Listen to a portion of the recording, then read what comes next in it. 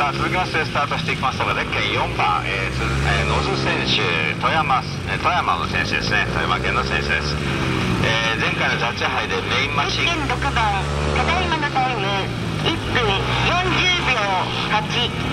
えー前回のジャッジ杯でメインマシンの、えー XR250 マシンをは、えー破損したため、えー各セカンドか DRZ400M で挑戦になります。XR みたいなちょうど良さがえーないのがネックですが、えー昇格目指して全力で頑張ります。とコメントを残してくれております。のズース選手のコメント。ゼッケン4番の選手ですね。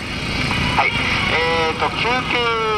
にスタッフ休憩にこの後入りますが、えーと C1 の選手ウォーミングアップを開始してください、えー C1 の選手ウォーミングアップを開始してください。10.5番ただいまのタイム。C1 選手ウォーミングアップを開始してください、えーこの後、えースタッフ休憩に入りますが C1 の選手ウォーミングアップを開始してください、えー C1 の選手はウォーミングアップを開始してください